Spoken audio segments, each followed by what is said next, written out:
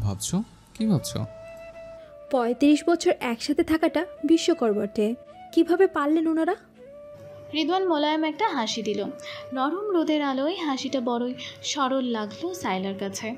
রিদওয়ান কোমল কণ্ঠে বলল শোনো ভালোবাসা থাকলে পঁয়ত্রিশ কেন? সত্তর বছর একসাথে থাকা যায়।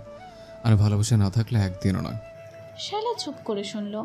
রিদওয়ানের কথা শেষ হতেই বলল একটা প্রশ্ন করব? রিদওয়ানের ভ্রু কুচকে গেল।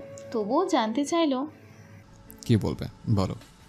যতদূর জানি হুট করে বিয়েতে রাজি ছিলেন না। তবু কি করে আমার পরিবারের সবার জন্য দায়িত্ব পালন করছেন? এটি কি মন থেকে করেন নাকি দায়িত্ব ভেবে করেন নাকি ভালোবেসে? একটা প্রশ্নের জায়গায় অনেকগুলো প্রশ্ন একসাথে করে শায়লা জড়সড় হলো। কিছুটা অস্বস্তি ফুটে উঠল ওর চেহারায়। রিদওয়ানের চেহারায় গাম্ভীর্যের আভাস। সব প্রশ্নের উত্তর দেওয়ার সময় হয়নি শালা কিন্তু উত্তর সময়ের সাথে সাথে পেয়ে যাবে তুমি। এখন কোনো মিথ্যে স্তুতি গাইতে চায় না। শুধু এটুকু বলব কাজগুলো করতে খারাপ লাগছে না। লাগলে আমি করতাম না। দুজনের মাঝে নীরবতা নেমে এলো। অনেকটা সময় চুপচাপ বসে থাকার পর রিদওয়ান তাড়া দিল। এখানে বসে থাকবে নাকি কোথাও যাবে? শায়লা উঠে দাঁড়াল। চলুন যাই। আঙ্কেল আন্টির জন্য গিফট কিনবো। কি পছন্দ করে আপনার মা? রিদওয়ান বিরক্ত হলো। গিফট কি মায়ের পছন্দ দেবে? তুমি নিচে কিছু পছন্দ করে কিনে দাও। শায়লা ভাবনায় ডুবে যায়। কি দেবে? কি পেলে খুশি হবে মহিলা? টিউশন করিয়ে বেশ কিছু টাকা জমিয়েছে। শায়লা সেটা আজ খরচ করতে হবে। কি ভেবে আচমকা রিদওয়ানকে প্রশ্ন করল? আপনার জন্মদিন কবে? রিদওয়ান থতমত খেল। কেন? হঠাৎ আমার জন্মদিনে নিয়ে কেন পড়লে? এমনিতে বলুন না কবে? এ বছরটা চলে গেছে বহু আগে আগামী বছর আবার। আমাকে বলবেন না কেন? রিদওয়ান ফিক করে হাসলো। কীভাবে বলব? তোমার সাথে তখন দেখা হতো না তো। শায়লা চুপ করে গেল। এসব দিবস টিবস পালনের অভ্যাস নেওয়ার তাই মনে রাখারও প্রয়োজন মনে করেনি সে। কিন্তু এখন দেখছে মনে রাখতে হবে। বিশেষ দিনগুলো আনন্দে কাটালে খারাপ হয় না। সন্ধ্যায় শায়লাকে হলের সামনে নামিয়ে দিতে এসে একটা প্যাকেট ওর দিকে বাড়িয়ে দিল রিদওয়ান। শায়লা হতবাক হয়ে বলল এটা কি? তোমার জন্য গিফট কখন কিনলেন? আমি দেখতেই পাইনি তো। তাছাড়া গিফট কিনলেন? পয়সা পেলেন কোথায়? একের পর এক প্রশ্ন ছুড়ে রিদওয়ানের দিকে সন্দেহের নজরে তাকায় শায়লা রিদওয়ান রাগালো না বরং শান্ত গলায় জবাব দিল টিউশনে কি শুধু তুমি করতে পারবে। কোন রুল বুকসে এই কথাটা লেখা আছে? শায়লা থতমত খেলো না মানে এমন কিছু বলতে চাইনি আমি। আপনি তো কখনো বলেননি আপনি টিউশনি করেন। তোমাকে কখনো কিছু দেওয়া হয়নি তাই দিলাম। তোমার যখন মন চাইবে পড়বে। থ্যাংক ইউ শাইলা ছোট্ট করে জবাব দিল, হাজারো প্রশ্ন করলেও কেন যেন গিফট পেয়ে ভালো লাগছে তার। বাবা ছোটোবেলায় এমন হুটহাট গিফট আনতো। এই এতগুলো বছরে গিফট দেওয়া নেওয়া ভুলেই গেছে শাইলা। আজ রিদওয়ান নতুন করে পুরনো অনুভূতি জাগিয়ে তুললো যেন। ভীষণ ভালো লাগার মন আচ্ছন্ন হয়ে যায়।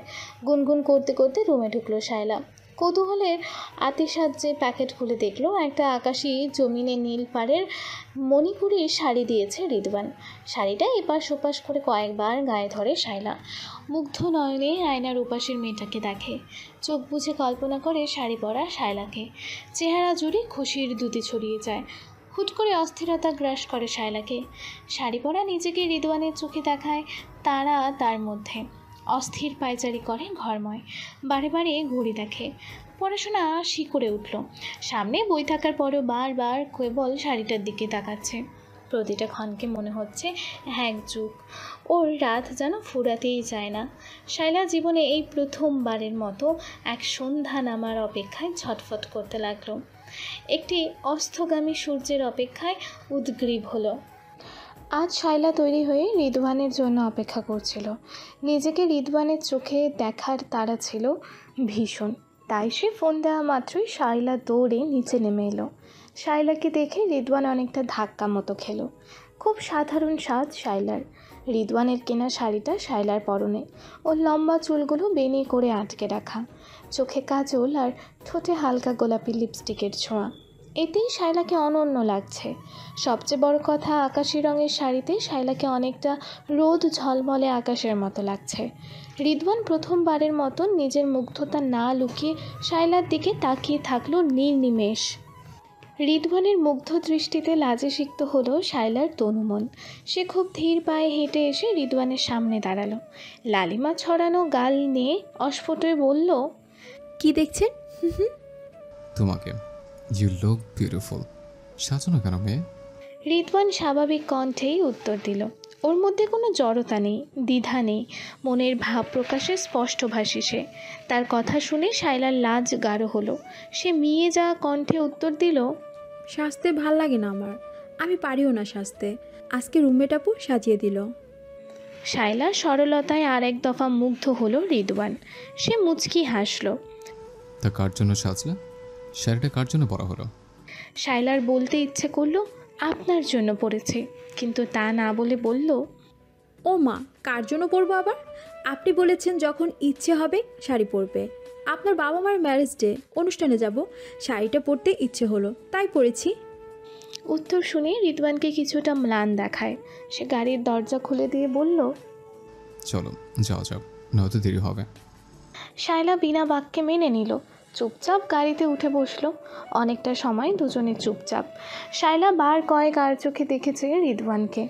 অফ হোয়াইট পাঞ্জাবি পরা রিদওয়ানকে হ্যান্ডসাম লাগছে। হঠাৎ রিদওয়ানের নজর গেল শায়লার বাঁ হাতে। একটা সোনালি বেল্টের ঘড়ি বাঁ হাতে। অনামিকায় চকচক করছে সাদা পাথর বসানো সোনার আংটিটি। রিদওয়ানের মুখের হাসিটা ফেরত এলো। সে উৎসাহী হয়ে প্রশ্ন করল, এটা কি বিয়ের আংটি? শায়লা চমকে উঠল। নিজেকে সামলে নিয়ে ম্রিয়মান গলায় বলল হুম আপনাদের বাসায় গেলে এটা পড়ি। কেন? আমি তো শুনেছি বিয়ের আংটি খুলতে হয় না। ও আমার আসলে লজ্জা লাগে। অযথা প্রশ্ন এড়াতেই পড়া হয় না। রিদওয়ান আর কিছু জানতে চায় না। পরের রাস্তাটুকু দুজনাই চুপচাপ বসে রইল। জাকিয়া আর ওয়াহেদের পঁয়ত্রিশতম বিবাহবার্ষিকীর আয়োজন জমকালো না হলেও কম নয়। তাদের তিন ছেলের পরিবার, মেয়ে, জামাই বাচ্চা কাচ্চা সহ জনাবিষেক লোক হবে। শাইলা সবাইকে সালাম দিল, কুশল বিনিময় করল। জাকিয়ার আর ওয়াহেদের জন্য কাপল ঘড়ি উপহার হিসেবে এনেছে শাইলা ওয়াহেদ বেশ খুশি হলো শাইলার গিফট পেয়ে। যদিও বারবার বলেছিল গিফটের কোনো প্রয়োজন ছিল না, তবে শাইলার দেওয়া ঘড়িটা পরে নিল সে। ঘড়ি হাতে দিয়েই কেক কাটলো। শায়লার খুব ভালো লাগল ওয়াহেদের আচরণ। মানুষটা একদম শুরু থেকে ওর প্রতি আন্তরিক। ওয়াহেদের কাছ থেকে বাবা সুলভ আচরণ পায়। এর জন্য মনে মনে ভীষণ কৃতজ্ঞতা বোধ করে শায়লা। এদিকে এতদিন পরে চাচিকে পেয়ে রোদেলা ভীষণ খুশি। ভাগ্যিস রোদেলার জন্য টেডি এনেছিল শায়লা। টেডি পেয়ে সে চাচির দুগালে চুমু দিল। তা দেখে রিদওয়ান ভ্রুকুটি করে। বারে রোদু, আদর তো সহজ, জানতাম না। শায়লা চোখ পাকিয়ে জানতে চাইল কি বলতে চাইছেন আপনি? শায়লার আক্রমণাত্মক ভাব দেখে ভরকে গেল রিদওয়ান। কি বলব? এমনি বললাম আর কি। বাচ্চাদের মন কত পরিষ্কার। সামান্য উপহার পেয়ে কতটা খুশি হয়ে যায় ওরা। ভালোবাসা প্রকাশে একদমই দেরি করে না। আর বড়দের কথা কি বলব? শায়লা ক্রুদ্ধ নয়নে তাকালো রিদওয়ানের দিকে। রিদওয়ান ঢোক গিলল। আরে বাবা আমাকে এভাবে দেখছ কেন? কিছু বলেছে তোমাকে? আপনার ঝিকে মেরে বউকে শেখানোর ফর্মুলা খুব জানা আছে আমার। রিদওয়ান ফিক করে হাসলো। বাহ বলতে আছে দেখছি তোমার মাথায়। আমি তো ভেবেছি তোমার মাথায় গেলো বলতে কিছুই নেই। শায়লা তেরে আসছিল কিছু বলতে। এমন সময় মুনিয়া এলো তোরা সে তখন থেকে আলাদা হয়ে কি গুজগুজ করছিস? সবার মধ্যে থেকে আলাদা থাকাটা খারাপ দেখায় জানিস না? রিদওয়ান বিরক্ত হয়ে বোনকে দেখল এক নজর। শায়লা কাচুমাচু হলো। মুনিয়া শায়লার দিকে তাকিয়ে চোখ না চায়। তুমি শুধু রোদেলার জন্য খেলনা এনেছো? আমার ছেলে দুটোর জন্য কিছু আনোনি? শায়লা কিছু বলার আগে রিদওয়ান পাশ থেকে বলল সবার জন্য এনেছে আপা। এই যে তোর দুই ছেলের জন্য খেলনা। শালা নিজেকে এনেছে। যা তাও ভালো এনেছো। আমি তো ভেবেছিলাম তুমি ওদের ভুলে টুলে যাবে। কথাটা বলে মুনিয়া সামান্য হাসলো। যেন হাসি দিতে কষ্ট হচ্ছে। শায়লাও প্রত্যুত্তরে হাসলো। তা গিফট কেনার টাকা পেলে কোথায় রিদওয়ান দিল? আচমকা এমন প্রশ্নে শায়লা চমকিত। সে রক্তশূন্য দৃষ্টিতে রিদওয়ানকে দেখল। শায়লার এমন অবস্থা দেখে রিদওয়ান রেগে গেল। বোনের ওপর চেঁচিয়ে উঠল। এসব কী ধরনের কথা আপা? মুনিয়া হাসলো। ওমা কি ভুল বললাম। ও সবার জন্য উপহার কিনে এনেছে। ও ছাত্রী মানুষ। এতগুলো টাকা কোথায় পেল জানতে চাইব না। না চাইবি না এটা অভদ্রতা। শাইলাকে কথা বলার সুযোগই দিচ্ছে না রিদওয়ান। মুনিয়া তার ছেলের হাসি দিল। বাহ তোর কাছ থেকে এখন ভদ্রতা শিখতে হবে দারুণ বললি। রিদওয়ান ভীষণ রেগে বলল আপা কাউকে অপমান করার শিক্ষা কোথেকে পেয়েছিস? বলতো? আমি অবাক হয়ে যাচ্ছি তোকে দেখে। মুনিয়া একরোখা স্বরে বলে উঠল আমি অবাক হচ্ছি তোকে দেখে। এই তুই না বিয়েতে রাজি ছিলি না? ছয় মাস তো বইয়ের খবরও নিসনি। হুট করে এত ভালোবাসা উতলে উঠছে কেন? বউয়ের প্রতি ভালোবাসা উতলে উঠবে না তো কি? পরমের প্রতি ভালোবাসা উতলে উঠবে? রিদওয়ান চেঁচিয়ে উঠল। শাইলার কাঁদো কাঁদো হাল দুই ভাই বোনের অবস্থা দেখে। ভীষণ অপমান লাগছে তার। কতটা শখ করে শাড়ি পরে অনুষ্ঠানে এসেছিল আজ। অথচ কি হয়ে গেল? সে কম্পিত কণ্ঠে অনুরোধ করল প্লিজ তোমরা থামো না। এরকম করছ কেন? মুনিয়া চেঁচিয়ে উঠল। তুমি চুপ করো সব তোমার জন্য হয়েছে। গ্রামের মেয়ে মানে পেচুক। দেখে তো মনে হয় ভাজা মাছ উল্টে খেতে জানো না। অথচ আমার ভাইয়ের মাথা খেয়ে বসে আছো। শায়লা অপমানে নীল হলো। এরকম আচমকা আক্রমণে দিশেহারা হয়ে সে কাঁপছে। মুখ দিয়ে একটা কথাও এলো না। ওদের চেঁচামেচিতে জাকিয়া আর ওয়াহেদ ছুটে এলো। জাকিয়া তিনজনের উপর তীক্ষ্ণ নজর বুলিয়ে জানতে চাইলো কি হয়েছে মুনিয়া? হৃদয় চেঁচাচ্ছে কেন? মনিয়া ততক্ষণে উঠে দাঁড়িয়েছে। সেটা তোমার গুণধর ছেলেকে জিজ্ঞেস করো সে আমার সাথে কি পরিমাণ অভদ্রতা করল আজ আমি ভাবতেও পারছি না। ওয়াহেদ রিদওয়ানের দিকে তাকালো। কি হয়েছে রিদু?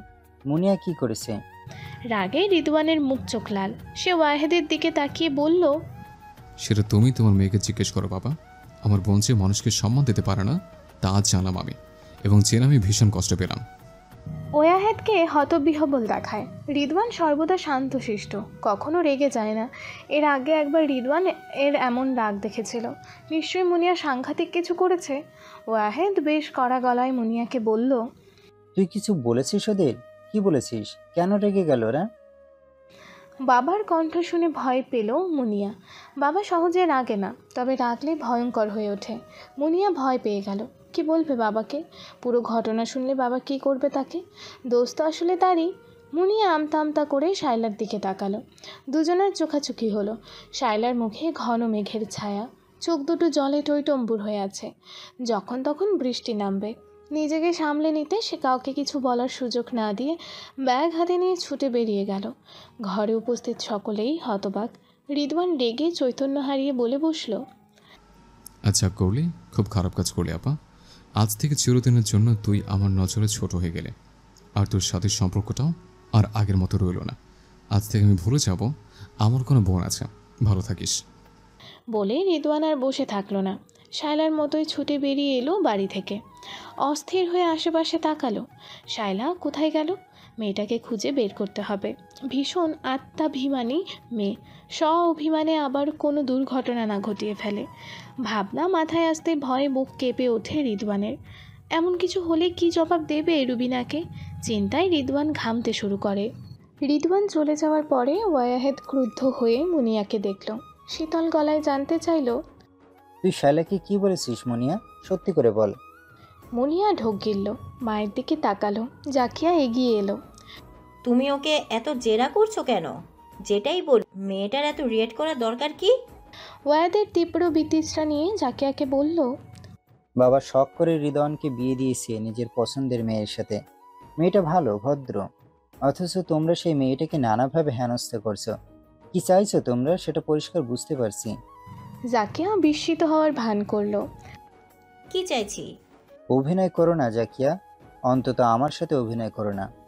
ওয়াহেদের ঝাঁঝালো দৃষ্টি জাকিয়াকে দমাতে পারল না। সে মুখটা দুঃখী দুঃখী করে বলল এখানে অভিনয়ের কি দেখলে? তাছাড়া সেদিনের আশা একটা মেয়ের জন্য তুমি তোমার বউয়ের আর মেয়েকে কথা শোনাচ্ছ? মেয়েটা তোমার এত আপন আমরা কেউ না। ওয়াহেদ বিরক্তির চরম সীমায় পৌঁছে উত্তর করল মেয়েটা তোমার ছোট ছেলের বউ। মেয়েটার কথা না ভাবলে অন্তত হৃদয়নের কথাটা ভাবো। স্পষ্ট বুঝতে পারছি হৃদয়ন মেয়েটাকে পছন্দ করতে শুরু করেছে। জাকিয়া ফুঁসে ওঠে। সব তোমার বাবার চার ইচ্ছে করে ওকে ডেকে নিয়ে মেয়েটার সাথে জোর করে ভাব জমানোর চেষ্টা করছে। আর কত জাকিয়া? বাবার প্রতি আর কত অভিযোগ দিল? তোমার অন্তর শান্ত হবে? আমি বুঝে পাই না বাবার প্রতি কেন এত রাগ তোমার? বুড়ো একজন মানুষ শেষ বয়সে এসে একটা ইচ্ছে পূরণ করেছে তাতে কেন তোমার গা জ্বলছে? ওয়াহেদ ধৈর্যহারা হয়ে গেল। জাকিয়া ওয়াহেদের দিকে তাকিয়ে বলল কারণ ইচ্ছে পূরণে আমার ছেলে হাতের হিসাবে ব্যবহার হয়েছে। এবার যেন ওয়াহেদের ধৈর্যের বাঁধ ভেঙে গেল। তুমি মা না আর কিছু দেখতে পাচ্ছ না? যে হৃদয়ন মেয়ে সহ্য করতে পারতো না সে শায়লার প্রতি কতটা দায়িত্ববান?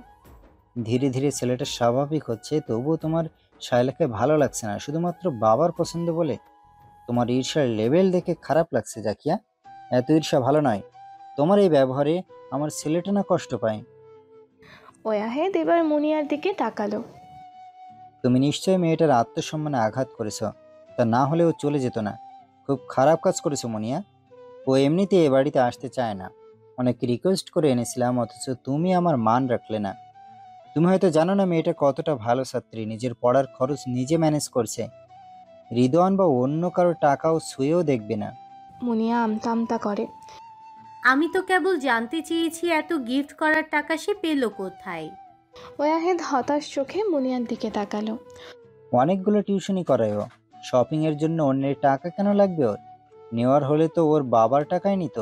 ওর বাবা ওদের প্রচুর টাকার অফার দেয় কিন্তু ওরা সবিনয়ে ওদের বাবাকে প্রত্যাখ্যান করে। ওয়াহেদ থেমে লম্বা শ্বাস নিয়ে বলল একটা কথা পরিষ্কার করে বলে দেই তোমরাও কান খুলে শুনে নাও। তোমাদের সবার কাছে অনুরোধ দয়া করে শায়লার পিছনে লাগবে না। শায়লা এ বাড়ির বউ এটা মেনে নাও তোমরা। বাবার বন্ধুর মেয়ে এ বাড়িতে সসম্মানে থাকবে। এটুকু যদি তোমাদের ভালো না লাগে আমিই চলে যাব এ বাড়ি থেকে। সারা জীবন বাবার জন্য কিছু করিনি। এখনও মানুষটাকে এতটুকু শান্তি যদি দিতে না পারি তাহলে ছেলে হিসেবে ব্যর্থতা আমার। আমি সে ব্যর্থতা মেনে নিয়ে সরে যাব তোমাদের জীবন থেকে। কল্যাণ এবার কথা বলে। এসব কি কথা বাবা? দুনিয়ার সাথে সাথে তুমিও বাচ্চা হয়ে গেলে নাকি? সায়রাকে নিয়ে আমাদের কারও কোনো সমস্যা নেই। মেয়েটা ভালো। রিদওয়ান ভালো থাকবে ওর সাথে। ওয়াহেদ মাথা নাড়ে। তোমরা মেনে নিলেও তোমাদের মায়ের আপত্তি আছে। সে নানাভাবে শায়লাকে হেয় করার চেষ্টা করে এটা দেখনি পল্লবী আর মালিহা দৃষ্টি বিনিময় করল। দুজনেই চুপ করে থাকল। বৌদ তারাও তাই এই আলোচনায় যেতে চায় না। জাকিয়া ঠোঁট কামড়ে রাগ নিয়ন্ত্রণ করে। মুনিয়া উঠে দাঁড়াল। আমি তাহলে যাই। যাও অনুষ্ঠান তো পণ্ড তবে খাবার আছে খেয়ে নাও আর ও বাড়ির সবার জন্য নিয়ে যাও। মুনিয়া ঠোঁট বাঁকালো। লাগবে না। ওয়াহেদ ভ্রুকুচকে বলল লাগবে না কেন? বড় বৌমা মুনিয়ার খাবার দিয়ে যাও। জি বাবা। পল্লবী উত্তর দিল। ওয়াহেদ পুনরায় মেয়ের দিকে তাকিয়ে বলল আর মুনিয়া শোন কথাবার্তায় সংযমের পরিচয় দাও। অকারণে কাউকে কষ্ট দেওয়া ভালো কথা নয় মা। তুমি কাউকে কষ্ট দিলে সেই কষ্ট কাল তোমার জীবনে ফেরত আসবে। ধরে নিও। তাই আগে থেকে সাবধান হও। জাকিয়া তেতে উঠল। কেমন বাপ তুমি? মেয়ের কষ্ট কামনা করছ? ওয়াহেদ হতাশ চোখে সাকিয়াকে দেখল। তারপর ধীর পদক্ষেপে নিজের কামরায় চলে গেল। যারা নেতিবাচক মনোভাব পোষণ করে তাদের বোঝানো বড্ড কঠিন কাজ। ওয়াহেদ বেশ চিন্তিত হলো। শায়লা আর রিদওয়ানের সম্পর্কটা শুরু হতেই শেষ না হয়ে যায়। এলোমেলো হাঁটছিল শায়লা। জলে ভেজা ঝাপসা চোখে সামনে কিছুই দেখতে পাচ্ছে না। আজকের আগে নিজেকে এত ভাঙাচোরা আর লাগেনি আগে। যেই সম্পর্কে জড়াতে চায়নি সেই সম্পর্ক থেকে এমন অপমান কে মেনে নেবে? দাদার উপর শায়লার পুরনো রাগটা ফেরত এলো। আরও জোরে জোরে হাঁটতে থাকে সে। নয়ন দুটো থেকে অবিরাম জলের ফোয়ারা বয়ে চলেছে। খুব ইচ্ছে করছে দাদাজানকে ফোন করে বলতে, বিয়েটা কেন দিল? অপমান করার জন্য? মানুষের কটু কথা কি কম শুনেছে জীবনে? নতুন করে কেন আরও কিছু মানুষকে জুটিয়ে দিল? ভাবতে ভাবতে হঠাৎই ইটের টুকরোতে হোঁচট খেয়ে পড়ে গেল শায়লা। ভীষণ ব্যথা পেল হাঁটুতে। দাঁতে দাঁত চেপে অনেক কষ্টে উঠে দাঁড়াতেই টের পেল পায়ের পাতায় কয়েক ফোঁটা রক্ত পড়ল। ভয় পেয়ে শাড়িটা হাঁটু বরাবর চেপে ধরতেই কাপড় ভিজে গেল রক্তে। ভীষণ জ্বলছে হাঁটুর জায়গাটা। দাঁতে দাঁত চেপে ব্যথা সহ্য করে নিল শায়লা এই শারীরিক ব্যথা তুচ্ছ কিছুক্ষণ আগে পাওয়া মানসিক আঘাতের কাছে। শায়লা কাপড়ে লেগে থাকা ময়লা ঝেড়ে পুনরায় হাঁটতে শুরু করে।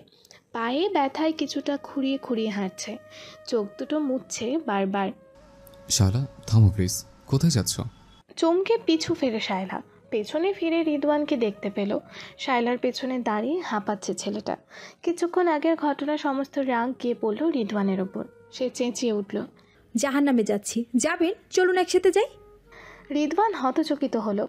শায়লার মেজাজ হালকা করার চেষ্টায় উত্তর দিল স্ত্রী যেখানে যাবে স্বামীর তো বাধ্য হয়ে সেখানে যেতে হবে। কি আর করা? চলো চলো যে জাহান নামে শায়লার লাগ পড়ল না তাতে। সে চোখ দিয়ে রিদওয়ানকে ঝলসে দিতে চাইল। ফান করছেন? আমাকে হেনস্থা হতে দেখে খুব মজা লাগছে আপনার তাই না? রিদওয়ান ব্যথিত নয়নে তাকালো। এই বুঝলে আমাকে? এতক্ষণ কি আমি কিছু করেছি? কিছু বলেছি তোমাকে? আমার উপর রাগ কেন দেখাচ্ছ? শায়লা একটুও না তুমি উত্তর দিল। এত ভালো সাজতে যাবেন না। আপনারা বড়লোকগুলো সবাই এক। নিজেদের বাদে বাকি সবাইকে ধুলিকণা মনে করে উড়িয়ে দিতে চান। আমার সামনে আর ভং করে থাকবেন না। আপনাদের চেনা শেষ আমার। রিদওয়ান কোমল কণ্ঠে বলল একজন রাগ আরেকজনকে দেখো নাকি ভালো? শালা প্লিজ ওদের জন্য নিজেকে কষ্ট দিও না। আমাকে কষ্ট দিও না। শায়লা গা ঝাড়া দিল। এসব মন ভোলানো কথা বলবেন না প্লিজ। কোনো কথাতে আর আমি পড়ছি না। আমি তো আসতে চাই না আপনাদের বাড়িতে। বারবার নিজেরা ডেকে এনে অপমান করেন কেন? কি দোষ আমার? আমি কি আপনি কি জোর করে বিয়ে করেছি? নাকি আপনার পরিবারকে বাধ্য করেছি? কেন তারা এমন করে? রিদওয়ান চুপ করে রইল। শায়লার অভিযোগ সত্য তাই অভিযোগ খণ্ডনের কোনো চেষ্টা করে না সে। রিদওয়ান একটা রিক্সা দাঁড় করিয়ে উঠে পড়ে। শায়লাকে ডাকলো চলো ক্যাম্পাসে ফিরি। শাইলা মাথা নাড়ালো। আপনি যান আমি যাব না আপনার সাথে। অকারণে জেদ কেন করছ শায়লা এতক্ষণ যা বলেছে শুনেছি। তাই বলে যা খুশি তাই করবে? শায়লা গোয়ারের মতো উত্তর দিল। হ্যাঁ করব। কি করবেন আপনি? রিদওয়ান শান্ত নজরে শায়লাকে দেখল। মাকে ফোন করে বলব তার মেয়েকে ঠিকমতো মানুষ করতে পারেনি। সে স্বামীর কথা শোনে না। বেয়াদব। মায়ের কথা শুনে শায়লা চুপ করে গেল। মেজাজ ভীষণ খারাপ হলেও জবাব দিল না কোনো। চুপচাপ এসে রিদওয়ানের পাশে বসল। রিক্সা চলতে শুরু করল। শায়লা অন্যদিকে মুখ ফিরিয়ে বসে আছে। রিদওয়ান ওকে দেখে দীর্ঘশ্বাস ফেলে। মাঝে মাঝে অবাক হয়ে নিজেকে দেখে। কেন সেই মেয়েটাকে নিয়ে এত ভাবে? এমন কি আছে মেয়েটার মধ্যে? কেন মেয়েটার জন্য কিছু করতে ভালো লাগে তার? মেয়েটার মন খারাপ দেখলে কেন বুকের মাঝে হাহাকার হয়? পৃথিবী ওলট পালট করে দিতে মন চায়। অনেক ভেবেও উত্তর পায় না রিদওয়ান। এই যেমন এই মুহূর্তে মেয়েটার বাচ্চাদের মতো ফুলিয়ে রাখা অভিমানী মুখটা দেখে আদর করে দিতে মন চাইছে বলতে ইচ্ছে করছে। পৃথিবী যে যাই বলুক আমি তো জানি তুমি কেমন তাই কারও কথায় কিচ্ছু মনে করো না মেয়ে। আমি তোমাকে বিশ্বাস করি ভীষণভাবে। নিজের মনের ভাবনায় নিজেই চমকে উঠল রিদওয়ান। এসব কি ভাবছে সে? শায়লা জানলে কি ভাববে? বেচারি তাকে বিশ্বাস করে করুক। সে তো বিশ্বাস ভাঙছে না। সে কেবল ওর ভাঙা মনটা জোড়া দিয়ে ওকে ভালোভাবে বাঁচতে শেখাচ্ছে। রিদওয়ান নিজেকে প্রবোধ দিল। সে আলতোভাবেই শায়লার হাতে হাত রাখল। রাগ করো না বউ আমি আছি তো বাসা রিদওয়ানের কাতর গলায় বলা বাক্যে এমন কিছু ছিল যে শায়লা চমকে ওঠে তার দিকে তাকালো। রিদওয়ানের চোখ দুটোতে রাজ্যের অনুভূতি জমা হয়েছে। ঠিক কী বলতে চাইছে ওর গভীর দুই নয়ন অবোধ শায়লা বুঝল না। তবে ওর অভিমান খানিকটা হালকা হলো। বুকের মধ্যে কষ্টের অনুভূতিতে কিছুটা প্রলেপ পড়ল বুঝি। অনেকটা সময় দুজন দুজনার দিকে তাকিয়ে রইল। বিব্রত হয়ে শাইলাই নজর ফিরিয়ে নিল। তার দৃষ্টি সোজা সামনের রাস্তায়।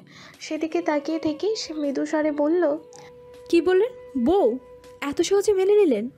আপনি আমাকে দয়া করছেন না তো রিদওয়ান আপনার দাদাজানের প্রতি ভালোবাসার বহিঃপ্রকাশ করতে আমাদের সম্পর্কের নাম দিচ্ছেন না তো? কয়েক বছর পর আবার দেখা যাবে। লাইফ পার্টনার হিসেবে আমাকে অযোগ্য লাগবে আপনার। এর চেয়ে আগে ভাগে বলে দেওয়া ভালো। আমি মেনে নেব রেদওয়ান কিন্তু এখন এসব বলে পরে আমাকে মাঝ রাস্তায় একা ফেলে যাবেন তা সহ্য করতে পারব না। বলে পুনরায় রিদওয়ানের দিকে তাকালো শাইলা একসাথে এতগুলো কথা রিদওয়ানের হজম হলো না ঠিক। সে সহসাই দেওয়ার মতো কোনো জবাব খুঁজে পেল না। কিছুক্ষণ ভাবলো ভেবে খানিক বাদে বলল জীবনকে সহজভাবে দেখা যায় না শায়লা আমার কোন ব্যাপারটা তোমার কাছে করুণা মনে হলো? বলো তো। সবই। এই যে আমার চাইতে বেশি আমার পরিবারের চিন্তা করা তাদের জন্য দায়িত্ব পালন করা সবই করুণা মনে হয়। মনে হয় আপনি দাদাজানের আদেশ পালন করছেন কেবল। তাকে খুশি করতে এত কিছু করছেন। রিদওয়ান শায়লার কোমল মুখাবরণ দেখল কিয়ৎকাল। অনেকটা ভাবুক মানুষের মতো বলল আমার মানুষটা বড্ড আজব বুঝলে? মন একরকম চায় মস্তিষ্ক চায় আরেক রকম। মন আর মস্তিষ্কের চাওয়া বেশিরভাগ সময় সাংঘর্ষিক। আমাদের মন চায় স্বাধীনভাবে বাঁচতে, অথচ মস্তিষ্ক নিয়মে আবদ্ধ। ছোটবেলা থেকে যে আমাদের মগজে ঠকিয়ে দেওয়া হয়, আমরা জ্ঞানে অজ্ঞানে সেসবই মেনে চলি। সামাজিক রীতিনীতি, পারিবারিক শিক্ষা, সব মিলে আমাদের মন আর মগজ সবসময় একটা যুদ্ধের ময়দান। অ্যান্ড গেস ওয়াট বিজয় কে হয় জানো? আমাদের মগজ। মগজের কথা অনুযায়ী চলতে চলতে আমরা একসময় বিশ্বাস করতে শুরু করি, আমরা যা করছি তা আমাদের মন চাইছে বলে করছে। আমরা আসলে নিয়মের চলে অভ্যস্ত। মুখে যতই বলো না কেন মন চায় কারণ নিয়মের বেড়া চলে জীবনটা নির্ঝঞ্ঝাট কাটুক। যতই দাদা জানে যা হোক না কেন এই চা অনুযায়ী চলতে ভালো লাগছে আমার। শায়লা ফুস করে শ্বাস ছাড়ে। আপনার এত কঠিন কথা আমি বুঝি না রিদওয়ান। সত্যি বলতে এত সহজে আপনাকে বিশ্বাস করতে পারছি না। আমার বারবার মনে হচ্ছে আমাদের সম্পর্কটাও আরও সময় দেওয়া উচিত। শুধু দাদুদের কথায় ভরসা করা উচিত হবে না। আমি নিজেকে কোনো এক পর্যায়ে না নিয়ে অন্য কিছু ভাবতে পারছি না আসলে। জীবনের এই টালমাটাল পরিস্থিতিতে কেউ আমাকে সামান্য খোঁচা দিল আমার মান সম্মানের ঘরে টান পড়ে। আমি মেনে নিতে পারি না। রিদওয়ান নরম করে হাসলো। আপুর কথা শুনে এটা মনে হলো? শায়লা মাথা নাড়ে। নতুন করে বুঝতে পারলাম।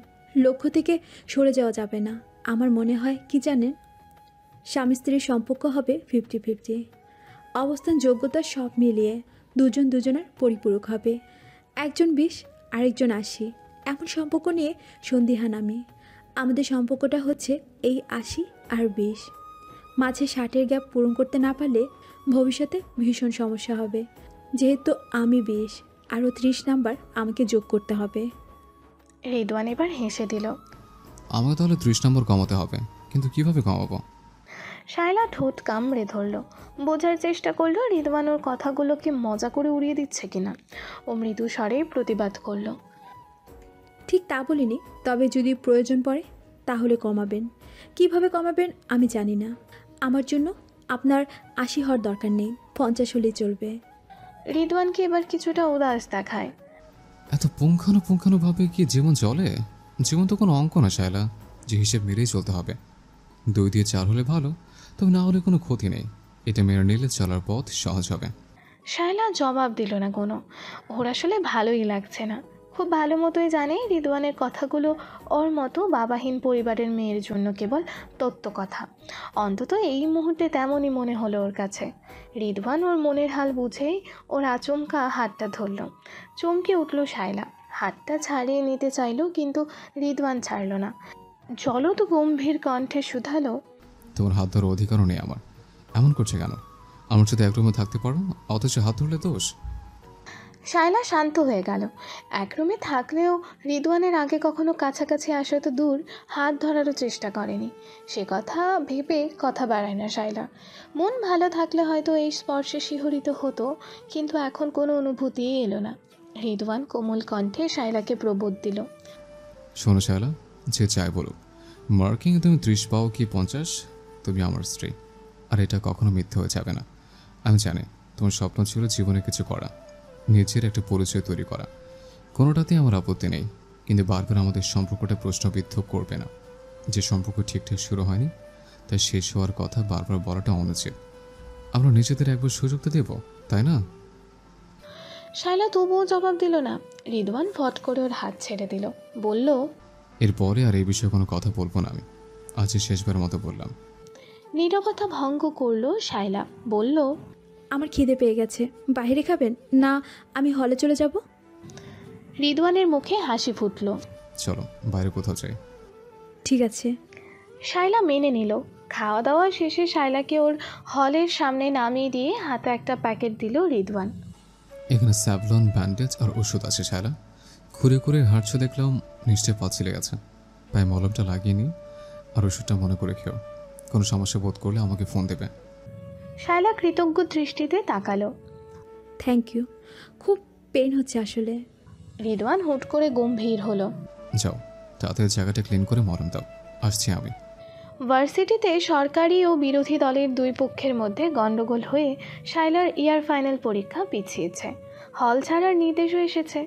শায়লা ভীষণ চিন্তিত হলো। বাড়ি চলে যেত কিন্তু টিউশনিগুলোর জন্য তাও পারছে না। থাকবে কোথায় এই ভাবনা তিষ্টাতেই দিচ্ছে না ওকে।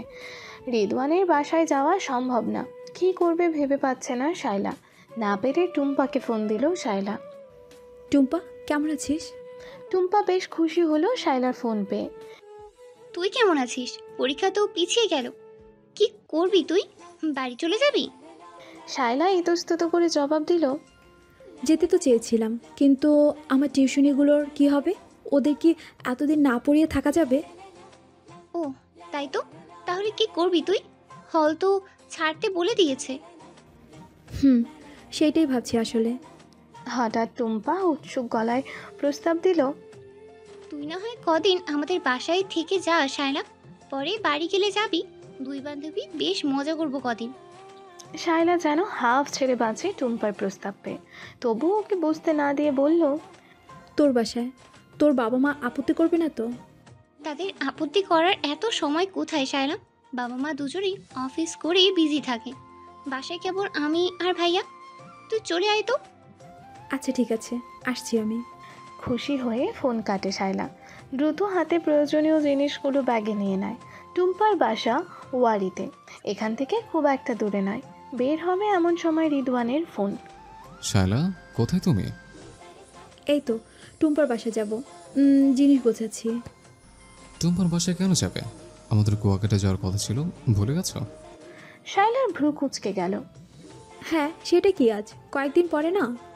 রিদওয়ান স্পষ্টত বিরক্ত হয়ে জবাব দেয়। আজ রাতেই তো শায়লা টিকিট কাটা হয়ে গেছে। আগে বলে রাখার বড় ভুলে গেলে কি করে? যাই হোক প্রয়োজনীয় জিনিসগুলো গুছিয়ে নাও। আমি তোমাকে রাত আটটায় পিক করব। রাতে বাইরে খেয়ে তারপর বাসে উঠবো। ঠিক আছে? শায়লার রিদওয়ানের সাথে যেতে ইচ্ছে করছে না তবুও মেনে নিল। ঠিক আছে আমি রেডি হচ্ছি আপনি আসুন। রিদওয়ান এলো আটটায় ততক্ষণে হল খালি হয়ে গেছে। রুমে একা একা ভয় লাগছিল বলে শাইলা নিচে রিসেপশনে বসেছিল। রিদওয়ান ফোন দেওয়া মাত্রই ব্যাগ নিয়ে বেরোলো সে। শায়লার হাতে দুটো ব্যাগ দেখে রিদওয়ানের মুখে ভাঁজ পড়ল। দুটো ব্যাগ কেন? আপনি কিছু জানেন না? কি জানব? ভার্সিটিতে গন্ডগোল হয়েছে। এক মাস বন্ধ দিয়ে আমাদের হল ছাড়তে বলেছে। এসব জানেন না আপনি? রিদওয়ান মাথা দোলায়। জানি। তুমি আমাকে ফোন দাওনি কেন? শায়লার ভ্রু কুঁচকে গেল। কোন ব্যাপারে ফোন দিব? আচ্ছা হল ছাড়তে হবে। এটা জানাবে না? আমাকে না জেনে তুমি টুম্পার পাশে কেন যাচ্ছিলে? শায়লা মুখ নিচু করল। তো কি করব? আপনাদের বাসা আমি যাব না তাই আর আপনাকে জানাইনি। এদিকে টিউশনি ফেলে বাড়িও যেতে পারছি না আবার হলেও থাকার উপায় নেই। তাই ভাবলাম টুম্পার বাসা থেকে আসি কিছুদিন। রিদওয়ানের দু চোখে বিরক্তি। সে জলদ গম্ভীর কণ্ঠে বলল তোমার উচিত ছিল আমাকে জানানো। যাই হোক আমি হয়তো জানানোর যোগ্য হইনি তাই জানাওনি। রিদওয়ানের কণ্ঠের উষ্মাটুকু টের পেল শায়লা সে অপরাধী গলায় জবাব দেয় সরি তখন আসলে খুব হোপলেস লাগছিল। আপনার কথা মনে আসেনি। হুম হুম। আমার কথা মনে হচ্ছিল কিন্তু তুমি ভেবেছ আমি তোমাকে বাসায় নিয়ে যাব। তাই ইচ্ছা করেই বলেনি আমাকে তাই না? শায়লা মাথা নিচু করে রইল। রিদওয়ান ওকে দেখে হতাশ গলায় বলল এখনও তোমার ভরসা জায়গা হতে পারলাম না শায়লা। খুবই কষ্ট লাগছে। রিদওয়ানের কথাটা শায়লার হৃদয় তোল পার করল। সে অস্ফুট স্বরে বলল এসব কি বলছেন? আর এখন এসব কথা আসবি বা কেন? সেদিন তুমি বলেছিলে আমি যোগ্যতায় আসি। আসলে তো আমি বিশ হওয়ারও যোগ্য না। নাহলে সর্বপ্রথম ফোনটা টুম্পাকে না আমাকে করতে। শায়লা কি বলবে ভেবে পেল না। একথা ঠিক রিদওয়ানকে ফোন করার কথা মনে এলো ফোন করেনি সে। অপরাধ বোধে ছেয়ে গেল ওর মন। রিদওয়ানকে কিছু বলা দরকার কিন্তু কি বললে রিদওয়ানের ভালো লাগবে বুঝলো না। আমি আসলে শায়লা কথা গোছানোর চেষ্টা করে। রিদওয়ান হাত দেখাল। হচ্ছে বাদ দাও। আর কিছু বলতে হবে না। জোর করে সব হয় না আসলে। তাই আমাকে খুশি করতে মিছে কোনো স্তুতি বাক্য বলতে হবে না আর। শায়লা চুপসে গেল। রিদওয়ান আজ একটু বেশি রেগে আছে কেন? সে কি জানে না? শায়লা কেমন? গাড়িতে উঠেও রিদওয়ানের কোনো বন্ধুকে না দেখতে পেয়ে শায়লা জানতে চাইলো কাউকে তো দেখছি না। আপনার বন্ধুরা যাবে না? যাবে তো। ওরা কাল আসবে। আমরা একদিন আগে যাচ্ছি। রিদওয়ান স্বাভাবিকভাবেই উত্তর দিল কিন্তু শায়লা প্রশ্নবিদ্ধ নজরে তাকালো। আমরা আগে যাচ্ছি কেন? আহ, ওদের সাথে যাওয়ার কথা ছিল না? রিদওয়ান তীব্র আশ্লেষে বলেই ফেলল ওরা যাক বা না যাক তোমার কি সমস্যা? তুমি ওদের সাথে যেতে চাও নাকি আমার সাথে? শায়লা থতমেত খেয়ে বলল রাগ করছেন কেন? কি হয়েছে আপনার? সাথে সাথে রিদওয়ান শান্ত হয়ে গেল। নমনীয় কণ্ঠে বলল কিছু হয়নি। দয়া করে একটু চুপ থাকো। মাথা ধরেছে আমার। শায়লা কিছু বলতে গিয়ে নিজেকে সামলে নিল। জানালা দিয়ে বাইরে অন্ধকারে তাকালো। গাড়ি ছুটছে তুমুল বেগে। শায়লার মনটা উদাস হলো। এই যে অনাহুদের মতো জীবনে এসে রিদওয়ান তার জীবনে জড়িয়ে যাচ্ছে, ব্যাপারটাই যেন কেমন। রিদওয়ান চায় ওর ভালো মন্দ সব বিষয় যেন তাকে জানায় শায়লা। হয়তো এটাই স্বাভাবিক বিষয় স্বামী স্ত্রীর মধ্যে। কিন্তু শায়লা কেন যেন পারে না? কেন সব সময় ভয় লেগে থাকে তার মনে? কেন বারবার মনে হয় সে রিদওয়ানের ওপর নির্ভরশীল হলেই রিদওয়ান তাকে দূরে ঠেলে দেবে? তার বাবা আর মায়ের মধ্যেও তো কোনো সমস্যা ছিল না। সুখী জীবন ছিল মায়ের। বাবার ওপর পুরোপুরি নির্ভরশীল ছিল মা। হুট করে একদিন মানুষটা অন্যের হয়ে গেল কেন তবে? চোখের সামনে মাকে কাঁদতে কাঁদতে পাথর বনে যেতে দেখেছে শায়লা। দাদু তার মাকে মেয়ে বানিয়ে নিজের কাছে রেখে দিল। মায়ের নামে সম্পদ লিখে দিল বলে ফুপুরা নাখোশ হলো। কত কথা শুনিয়েছে মা আর তাদের? ফুপুরা রাগ করে বাপের বাড়ি আসে না। মা থাকলে নাকি আসবেও না কোনো দিন মা নাকি তাদের হক নষ্ট করেছে। পুরনো দিনের কথা ভেবে শাইলার হৃদয় আর্দ্র হলো।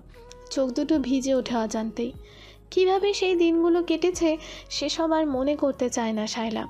কেউ জানে না সেই বয়সন্ধির সময়টাতে শায়লা একটু একটু করে ভেঙেছে। ভেঙে চুরমার হয়েছে। স্কুলে, ঘরে, বাইরে সব জায়গায় বাবার নতুন জীবন জানার জন্য মানুষের রসালো আলাপ, মাকে নিয়ে আলোচনা, সমালোচনা, সব মিলিয়ে জীবনের প্রতি বীতশ্রদ্ধ হয়ে উঠেছিল শায়লা। বন্ধুবিহীন জীবনে পড়ালেখাকে আপন করে নিয়েছিল। মানুষের প্রশ্ন থেকে বাঁচতে বইয়ে মুখ গুজে থাকতে লাগল। কোনো আনন্দ ছিল না তাদের জীবনে। ছিল কেবল গঞ্জনা আর গুঞ্জন। সেসব মনে করে শায়লা কেঁপে ওঠে। চোখ বুঝতেই ওর দু চোখ বেয়ে জলের ধারা নেমে এলো। রিদওয়ানও চোখ বুঝেছিল। মন ভীষণ খারাপ তার। আজ ডিউটিতে থাকাকালীন এক রোগী এলো। রোগীর অবস্থা ভীষণ সিরিয়াস ছিল। রিদওয়ান ডিউটি ডাক্তার হিসেবে তাড়াহুড়ো করে ট্রিটমেন্ট দেওয়ার পরও রোগী বাঁচল না। রোগীর স্বজনরা ভীষণ হইচই করছে, গালাগাল দিচ্ছে। রিদওয়ান তখন ডিউটিতে বলে সব ঝড় রিদওয়ানের ওপর দিয়ে গেল। স্যারেরাও অকারণে ঝাললো রিদওয়ানকে। এর মধ্যে শায়লার ইউনিতে গণ্ডগোলের কথা শুনেছে। শায়লার ফোনের অপেক্ষায় থেকেছে। কিন্তু শায়লা ফোন করল না সারাদিন। ভীষণ রাগ হচ্ছিল রিদওয়ানের। এত কিছু করার পরেও মেয়েটা তাকে ভরসা করে না, বিশ্বাস করে না। নিজেকে কেন যেন ব্যর্থ লাগছিল। পৌরুষে আঘাত লাগে তার। সে কি কারও বিশ্বাসের যোগ্য না? কেন কেউ তাকে পছন্দ করে না? শায়লার ওপর রাগ বাড়ছিল ক্রমশ। এর মধ্যে শায়লার এত প্রশ্ন শুনে রিদওয়ানের মেজাজ ধরে রাখতে পারে না। এখন চোখ বুঝে থাকার পর মনে হচ্ছে শায়লাকে কষ্ট পেল ওর আচরণে। হুট করে চোখ খুলে শায়লার দিকে তাকালো রিদওয়ান। মেয়েটা জানালা দিয়ে অন্ধকারে তাকিয়ে আছে। মাঝে মাঝে রাস্তার পাশে থাকা দোকানের আলো এসে ওর মুখে পড়ছে। রিদওয়ান আবিষ্কার করল শায়লার দু চোখ বেয়ে জল গড়াচ্ছে। শরীর কেঁপে উঠছে মাঝে মাঝেই। রিদওয়ানের বুক কেঁপে উঠল। সে ব্যস্ত হয়ে শায়লার দিকে ঝুঁকে গেল। হ্যাঁ কাঁদছো কেন? কী হয়েছে? আমি বকেছি বলে মন খারাপ হচ্ছে আমি সরি ভীষণ সরি প্লিজ কেঁদো না। মাফ করে দাও আমাকে। শায়লা হতচকিত হলো। রিদওয়ান একের পর এক বলেই যাচ্ছে। শায়লা দ্রুত হাতে চোখ মুছল। নাক টেনে স্বাভাবিক গলায় বলল আমি ঠিক আছি আপনি ব্যস্ত হবেন না। রিদওয়ান ব্যগ্র হয়ে জানতে চাইল কাঁদছো কেন তবে? শায়লা মৃদু স্বরে জবাব দিল এমনি। রিদওয়ান কোমল কণ্ঠে বলল আমি বকেছি বলে মন খারাপ? শায়লা জবাব দিল না। রিদওয়ান আচমকা শায়লার ডান হাতটা নিজের মুঠোয় পুড়ে নিল। আজ আমারও খুব মন খারাপ জানো? কিন্তু আমি ছেলে বলে কাঁদতে পারছি না। শায়লা চমকে তাকালো। রিদওয়ান চোখ বুঝে সিটে মাথা রেখেছে। আপনার কেন মন খারাপ? কি হয়েছে? রিদওয়ান চোখ খুলল। নিষ্প্রভ দৃষ্টি মেলে কৌতুকের স্বরে বলল তাও ভালো নিজ থেকে জানতে চাইলে। আমি তো ভেবেছি তুমি কখনো আমার খবর নেবে না। শায়লার দৃষ্টি নত হলো। ঠোঁট কামলে ধরল। কিছুটা রুক্ষ স্বরে বলল হেয়ালি না করে বলুন কি হয়েছে? মন কেন খারাপ আপনার? রিদওয়ান আঙুল দিয়ে চুলগুলো ব্রাশ করল। মৃদু স্বরে ফিসফিস করল। হয়েছে তো অনেক কিছু তবে সবচেয়ে বেশি মন খারাপ হয়েছে তোমার জন্য। সারাদিন তোমার ফোনের অপেক্ষা ছিলাম অথচ তুমি ফোন করনি। নিজেকে অচোখে ভেবে মনটা টুকরো টুকরো হয়ে গেছে। শায়লা অস্বস্তিতে মাথা নত করল। শোনা যায় না এমন গলায় বলল সরি আমি আসলে আপনাকে বিরক্ত করতে চাইনি। তুমি কি জানো? তুমি ফোন করলে আমি বিরক্ত না হয়ে খুশি হব? প্রিয়জন ফোন করলে কি বিরক্ত হয়? রিদওয়ানের এমন কথায় শায়লা চমকে উঠল। ওর গাল দুটো ঈষৎ লাল হলো। লজ্জা থেকে বাঁচতে তাড়াহুড়ো করে বাইরে নজর দিল রিদওয়ান। ভ্রু কুচকে তাকিয়ে আছে। বুঝতে চাইছে শায়লার নীরবতার আসল কারণ। ওর লাজুক মুখভঙ্গি দেখে খানিকটা আন্দাজ করে মন খারাপ দূর হয়ে গেল। চটুল গলায় বলল তোমাকে লজ্জা পাচ্ছ শায়লা? একটু তাকো তো দেখে। দেখে লজ্জা পেলে কেমন লাগে তোমার?